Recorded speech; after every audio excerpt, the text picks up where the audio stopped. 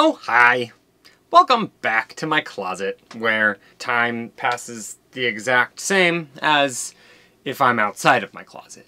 Yeah. Today, I'm actually going to be updating a past episode. Developing 2.0!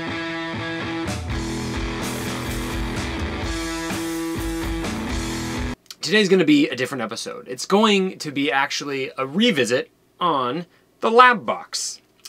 So as you probably remember, more or not, I don't know, this could be the first video that you've watched, and in that case, you should probably go to that video first, just to give you context. And then you come back to this one, and we can party together. In that first episode, I said things could probably change in my developing, since that was basically the first time doing it. And it has. A lot has happened. I've seen some, I've experienced some emotional traumas. so, I'm here to update you. Thus the name of the episode. 2.0, the update. It's like every good sequel. Hmm, can it stand on its own? You'll be the judge. This is gonna be just me talking about new processes, new things I found out, and blah de blue ba. So, let's get to it. The first thing that I will do is take you to the story corner. Since the beginning of this year, I've been doing a photo project. It's called ProMist Night Photography. Basically, it's me going around at midnight taking photos of massive neon signs. So I've been doing it since January. One of those times I went out was with Grainydays. I'm sure you've seen his videos on it. If it's not up here, it'll be down there. I shot four rolls at Chinatown and around Miracle Mile. So, as you know from my very, very first episode, I developed my own film now. I lost almost all the rolls. Yeah, the night photography was shot with Cinestill. So I've never developed Cinestill 120 in uh, the lab box, and it went horribly wrong. Uh, for some reason, it did not seed into the slot. Didn't do this. Didn't. For some reason, this didn't happen. This didn't happen. None of that happened. I opened it up. I did everything right. And I opened it up and it was like... it's really hard.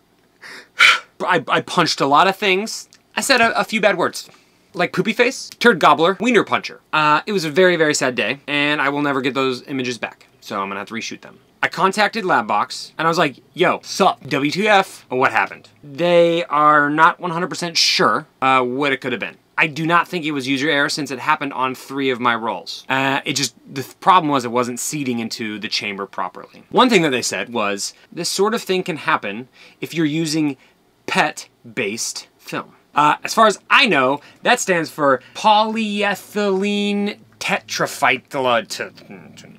Uh, it's some sort of maybe adhesive. Um, if any one of you is a chemist, uh, let me know. Tell me how poor I'm doing at that pronunciation. So PET-based films, don't use them. But apparently Cinestill is not a PET-based coating. It uses Excetrate or Estar. I don't know what that is either, which they don't think that should be happening, but it is happening. Maybe because they roll it themselves. I don't know, they don't know. So to be honest, I'm gonna stop developing Cinestill 120 in the lab box. I don't want to lose any more shots. I was depressed all day and started drinking very early. So I'm going to provide a list of, to you of films I would just be, just don't do. Don't develop in the lab box.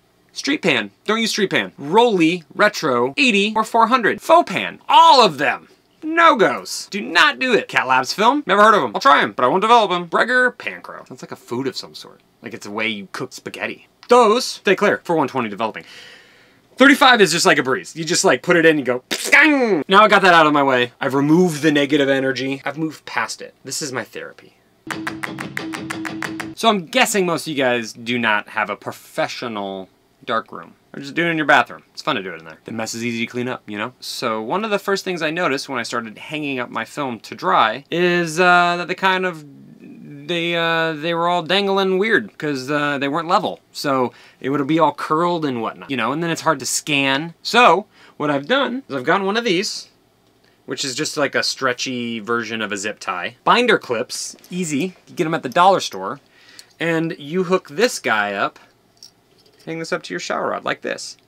That will give you an even center of gravity for your film to hang. Then, you take these bad boys, boop, boop, boop, boop, boop, boop, clip them to the bottom. Gives it some good weight. That way, you know it's going to dry straight. So you got those clips. So let's move on. So the next new update by one of these. It is a Paterson film squeegee. Has little uh, has little squeegees thingies right here. After you're done developing, you hang it up, and right? We're all doing this in the bathroom anyway, right? Just put it over your tub and go. The thing I was noticing is that, yeah, I would get some spots here and there because um, the water would just uh, collect on the film. So this helps. This helps dry the film out. Now it's easy breezy, beautiful color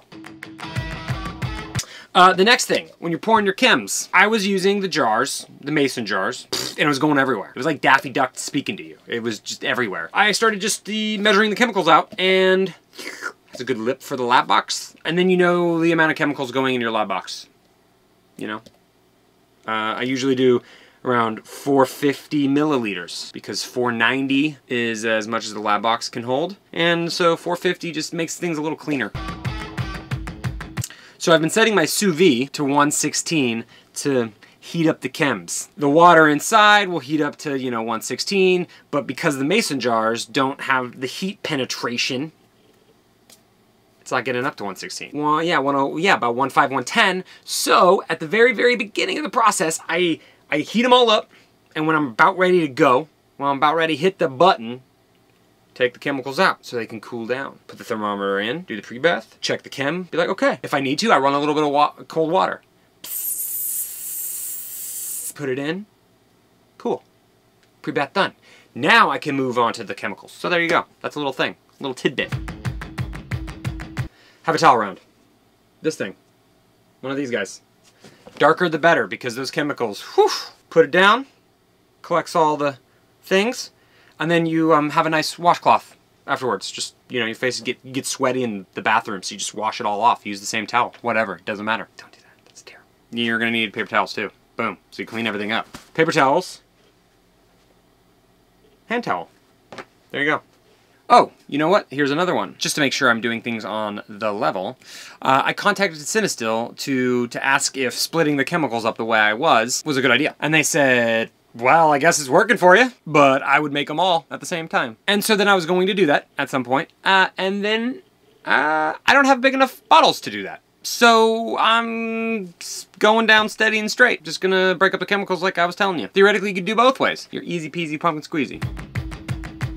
One very handy tool that I've been using and didn't realize I was going to use uh, was this like phone gooseneck phone holder thing. So for uh, my birthday this year in, in February, uh, sure you can send me presents. I won't. Uh, I won't turn them down. Uh, my mom got this phone holding gooseneck thingy, my bob, that you can just you know mm, make it any shape you want it to, and then just like basically put your phone in, right? Uh, boom! Look at that. You don't, and then just twist that down on a get nice and secure. Then you get that where you want it to be.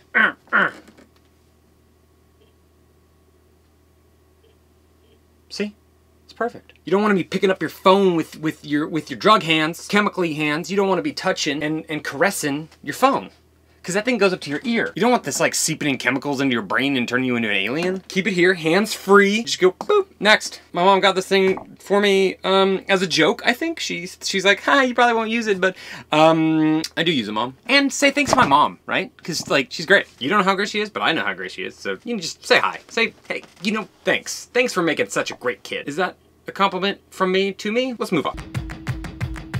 Hey, guess what? You just shot 35. Welcome to the club. You want to develop it now? You got to get the little tongue out of the cartridge. I'm not gonna lie, this was my uh, least favorite thing. It was a pain in the ass. So I don't know if you remember, but when I backed the Kickstarter, uh, one of the other gifts that they would give you uh, to retrieve your 35 from its cartridge, your 35 film from its cartridge, was uh, this film retriever. A little, little thingy you put in and you just pull out and it's magic. It's not really magic. I was spending like 25 minutes, which is practically the time you spend developing to retrieve from this case. It was bull. I don't want to do that. I told you, I got the lab box so I didn't have to do that. I could spend the time developing and not trying to get things out of this. I got angry and I bent it. it was like this. Ah! No, don't buy one. They're useless. What do you do when you see no hope ahead? You just want to bury your head in the sand like an ostrich. Hey YouTube. How do you do it? Well, some uh, really clever homie on the uh, interweb was like, do it this way. I'm gonna link him down. I don't remember his name, uh, but he'll be there. So he'll be down. He'll be down there. Um, but he said, all you gotta do is uh, grab yourself another piece of film, like this, like so, just normal film. As you know, I royally messed this roll up. He did say you can use another roll of film, just pull out a little bit of leader. It's not gonna actually be that big of a deal. Just you wet one side of this with like saliva or water, and then you insert it into the cartridge, like that. And just a little bit, a little bit, a little bit, a little bit, and boop. And then you wind it in. Once you start seeing it wind in, now this is empty, so I, you know, I can't actually do that. But you wind it in, and just a little bit, you're like, oh, it, it sucks this guy up in, and you're like, sweet. Now, the little bit of saliva slash water, you don't have to lick it, it will adhere to the other film in here, and you just go, bing, and it just pops out. This literally takes 30 seconds. 30 seconds, 25 minutes. Don't buy that thing. Don't buy it. Don't do it. It's all you need. So let me go through my notes. I talked about this. I talked about the easy pour. Talked about a towel. I talked about the temperature that I set my sous vide to. Talked about hanging film. That's the uh, new information I want to uh, present to you. You know, I'll let you know if there's a 3.0. Overall, now that I've done it, much more than in the past. I could see why people do the other way. If you get really good at loading a Paterson tank, I'm sure it's it's a much easier cleanup process. You know, it's give and takes. So yeah, you have to clean the tank after every use for the lab box, but it's also really easy to roll. Sometimes your rolls get snagged if you don't do it properly. You have to really be careful to make sure your spools are spooled properly to uptake the film. But you know, honestly, it's it's not bad. I I was clocking in at about 30 minutes uh, a roll overall, start to finish, which is a cleanup. I'm still happy with it, even though I had that little snafu. They were gonna be magic. Sorry that I will never be able to present them to you.